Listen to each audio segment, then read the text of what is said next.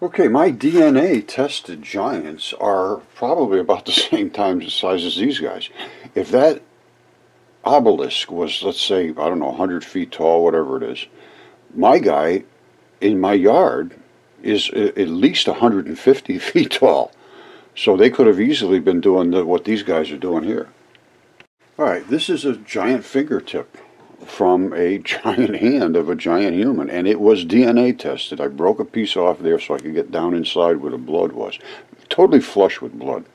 That is the fingernail. This is the blood supplies. This little round pad here is the bumper pad that bumps into your neck's bone so that it rocks on there. These two spots are the blood supplies that come in. This I broke off, and there is fingerprints still on there. It was absolutely flawless, and it's gigantic. It's almost three feet long. So I've calculated out the thing should be damn close to uh, 150 feet tall. Now, these are the ridges on your fingerprints, just like these ridges. In those ridges are these little tiny sweat pores. There they are right there. You see the sweat pores? These are the fingerprints, and this is the piece I broke off. I went down inside where all the blood is, and there was plenty of it. I had no problem getting blood. This is the key with my fingers. You see right up there, remember I showed you the two little blood supplies. This where this is exactly where you are, way up here. That's it. There's your two little blood supplies, and then there's blood supplies on the side and on the end. And they are just totally flush with blood. I mean, you can see the blood. And um, I have all kinds of really good, good shots of how blood flows in a hand. And it is dense, dense. Because these are what they call the terminals. What happens is you got vein blood or artery blood coming in. And you see artery blood comes in on this side, artery blood comes in on this side. Then the vein blood comes back, and the vein blood comes back. They're two separate systems. So your artery blood comes down, goes anywhere it wants because it's saturated with good stuff. Then the vein blood gets sucked back, and is nothing other than just one vein basically that goes back at the terminals to, to bring that blood back to get recharged. This is where most of the action happens, at your fingertips and your toes. That's where the terminals are.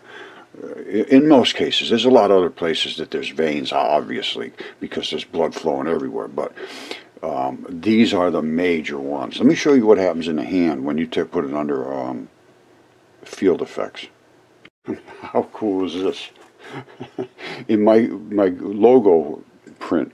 You see this is glowing, crazy glow. And then the tips, the same thing, because this is where blood is just absolutely dense. Isn't that something? And that's, that's under um, magnetic field effects. Uh, and here's what the blood really looks like. You see how many vessels there are? People don't realize how, how saturated you are with blood. I mean, every single cell has to be saturated with blood continuously, 24 hours a day, seven days a week, and it continuously moves because it's used up very quickly. In four or five minutes, you're dead because your blood hasn't moved. You know, if your heart stops pumping, you're dead very quickly. Now, this is where that real glow is, and then the tips were where, where the extreme glow was. And that's what my my hand logo shows. Look at that. Look at the glow here. And then, of course, they're going to be out here, too, wherever they dense in blood just the way it works.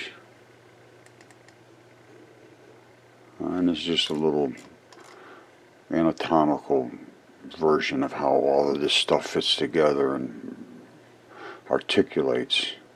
Very interesting. Alright, this is the littler one that's on my property. It's still over three feet wide. I think it's almost four feet wide, the, the hand. And I have fingertips and knuckles and all kinds of things from this. And I have all kinds of body parts from this actual one because this was just buried just below the surface when they did a foundation for my addition I had to put on. These things just popped out and the fingertips and everything. I had a DNA test at 100% human. it's just what it is. They somehow were gigantic, gigantic creatures and they they were all drowned in the flood. This is from a flood. Now, remember I showed you the grip skin on that big gigantic fingertip that I popped off? This is the grip skin on this hand. And that grip skin is that very heavy keratinized, tough, they call it grip skin, friction skin, and that does the job on your hand. It's just like a rubber, like a pad of rubber, all over your fingers and all over your palms and your toes and your heels. Okay, so as I said, I'm a little upset. This is a fingertip on my property. I had a DNA tested, and, and it is human. It is almost three feet long. This is where the blood supply comes in. That's the little pad that bumps into your next bone. That is literally the fingernail. That's the fingernail. It's not in bad shape. And I broke this piece off right here to get down into where the blood is. Fingertips and toes are saturated with blood. And I had the DNA tested, and it is human. And there's fingerprints. You see that? That's the fingerprint I broke off off the side. These are the sweat pores. See the sweat pores? This, and it broke right, right off like, it, it came right off. It's like the layer underneath. It came off just like Velcro, just like that. Like, th this is like a rubbery piece. And you can't get any blood out of that. That's why I had to get it out of there. I know these things inside now. I, I got them all over my property. And I'm, I'll show you another one. I got a hand out there that's almost four feet wide. This is three feet long, but just a fingertip, just the tip of the finger. The other one, the hand itself, is four feet wide. And it's, anyway, this and that was DNA tested too. I'll show you the DNA test. But this is, my finger is about the width of one of the ridges in your fingerprint. All right, this is gigantic. I've, I've calculated I was about 150 feet tall, this guy would have been, if everything anatomically was exact, and it appears to have been. All right, here's another one, goes back to 2015. I was the first one in the world, and so was the Helix Biolabs, to test for human DNA in ancient rocks. I extracted the blood samples and I sent them to Helix. They did not do the extraction. They did the analysis of what I sent them. I sent them three mud fossil samples, and they did the they extracted DNA from the samples I sent them. They did not extract them from the actual complete mud fossils. Then they did PCR DNA sequencing and analysis. And the objective was an analysis to perform extraction of any genomic or mitochondrial DNA from these mud fossils. Upon successful DNA extraction from the sample, subsequent analysis will include the amplification of extracted DNA using PCR technology targeting specific DNA marker sequences to obtain DNA sequence from the amplified PCR products. What does that mean? They are going to look at DNA if they can find it. And they did. And they found it, was excellent quality and it was dense because I know where to take it from. And I took it right out of the blood. I literally sent them almost blood that was dry. Now, so what did they do? They checked it to see what the sequences were in this DNA. And if it had these exact targets, you see targets? There's, you, your DNA's got bazillions of particles. Now, there's sequences that determine what if you're a, a, Homo sapien or you're a zebra or whatever you are, and if they can find that set of sequences, because there's a, still about let's say just I'm just throwing a number out. Let's say there's 500 particles in a row that are exactly the right right particles. That's not going to happen accidentally. That means you are the thing that that 500 particles represents, which is Homo sapien in this particular case. So what they did was they took out those particles and then they had them all figured out and I don't know they did a lot of testing on them and so forth. And then they sent them off and they you know they used all very very serious stuff. Because this is the first in the world. He you know I worked with the guy at the lab there and I said Tom his name was Tom. I said Tom this is first ever. I mean can you do it? And he said well we don't know he said, nobody's ever done it before, but we can try this.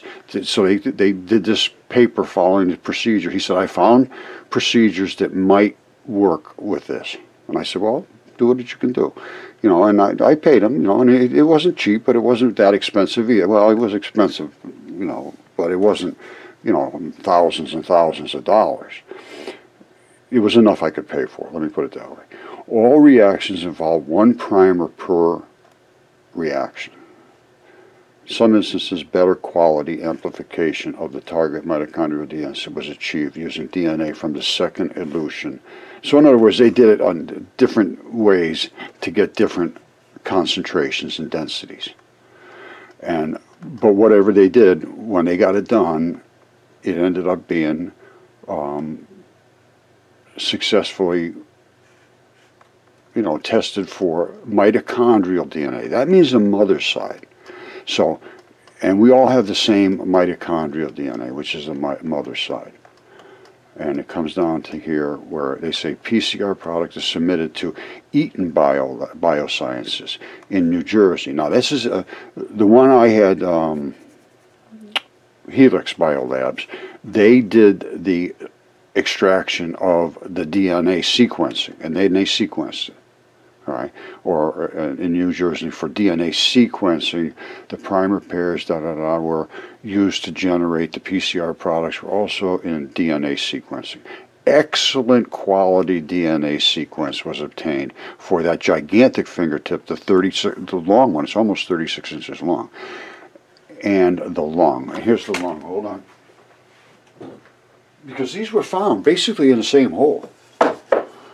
That lung is our size, and that lung is again perfect, high, very very dense um, blood came out of that tip because that's where the blood collects at the tip. And um, so anyway, this was all sent off, and it came back Homo sapien mitochondrial cytochrome B gene and D loop region, both of them mitochondrial, and both all of them Homo sapien and here's all the CTAGs, and you know, this is the sequences in the DNA that shows and proves what it was. You don't get all that stuff in an order like that and have it just be accidental. All right? And um, it's, it's a pretty serious test. And again, this was the, the first in the world that was ever done. And I talked to Tom about this because he was getting attacked by people, you know. you know, I, you know, anyway. All right, I don't want to go down that road, but anyway, here's what ended up happening. They submitted these DNA sequencing to a BLAST search using the National Center for Biotechnology Information, NCBI database, which apparently has every every known sequence of DNA. So it says whereby each DNA sequence was matched to all DNA sequences contained in the NCBI DNA sequence database. So uh, I don't know how many there is, but all. Now the results of that blast search. So they just said, see if you could find any sequences that match these using the DNA sequences they generated from these things that I sent them indicates the Homo sapien mitochondria. Now, if I'm wrong, they have to prove I'm wrong. Anatomists say yes, they're identical to a human lung. It even has the depression of the heart because it's a left human lung, and the heart would sit right there as this guy died, flat in the flood. And that's why it's so flat like that on the back. Now, this is what also upsets them terribly because it evolution, it totally wipes out evolution. I'm showing you giants that they had talked about in the Bible, in the ancient texts. Every one of them talks about giants. Every culture on earth talks about giants. A hundred percent. One hundred percent. And they also talk about dragons. One hundred percent. And I have found them very, very, very large dragons. This is what upsets academia. And until they will address that, they have gone into a range where they have not, they are not doing their job.